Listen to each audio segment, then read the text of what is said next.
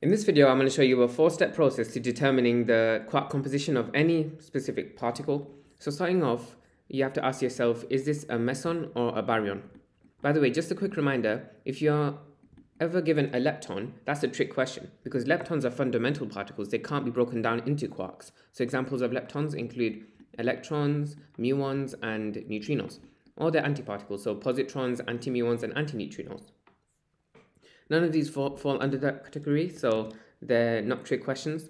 Moving on then, the first question you need to ask yourself is, are these mesons or baryons? The reason for that is because mesons are made up of a quark and anti-quark pair, whereas baryons are made up of three quarks.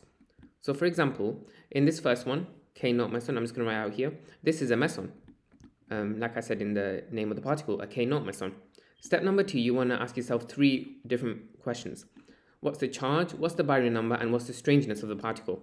Now, the charge of a K naught meson, well, it specifically tells you um, it's a K naught and not a K minus or a K plus meson, and that means that the charge is equal to zero. Question number three you want to ask yourself is what's the baryon number? So only baryons have a baryon number of 1 and antibaryons have a baryon number of minus 1. That means anything that's not a baryon or an antibaryon, it has a baryon number of 0. In this case, this is a meson, so it has a baryon number of 0. Lastly, you need to ask yourself about the uh, strangeness. Well, strangeness is a bit of a finicky one because if a particle does have strangeness, it will tell you specifically in the question. If it doesn't tell you it has strangeness in the question, you always assume that it has a strangeness of zero. Here it tells you the neutral kaon has a strangeness of plus one. Straight off the bat, we know that a strange quark has a strangeness of minus one, and the anti-quark for that, an anti-strange quark has everything the opposite. So it has a charge of plus 1 over 3e, has a baryon number of minus a third, and it has a strangeness of plus 1. That means that one of the particles, or one of the quarks, of the K naught meson has to be an anti-strange quark in order to form that strangeness of plus 1. Okay, so now that we know that, it has an anti-strange quark. If we think about it, an anti-strange quark has a baryon number of minus a third, strangeness of plus 1, and a charge of plus 1 over 3e. However, we want to balance it out so that it now has a charge of 0 and a baryon number of 0. That means the remaining quark, which by the way has to be a normal quark and not an anti-quark because we've already taken into account the anti-quark that this meson has. So the remaining um, sort of particle has to be a quark and it will actually be a down quark. It doesn't matter which order you put it, anti-strange down or down anti-strange. But the reason it's a down quark is because you can take away 1 over 3e to balance it out and create zero charge, just like we need. And you can add a third to the minus a third baryon number to balance out the baryon number, so it's now 0. On top of that, the strangeness would also be positive 1 because, well, the down quark has no effect on the strangeness and the anti-strange particle quark already has a strangeness of plus 1. So that matches everything there. Let's now repeat that process with um, a different particle. So I'm just going to write strangeness here, and we're just going to follow this four-step process one more time. So for this next one, it's a pi plus meson.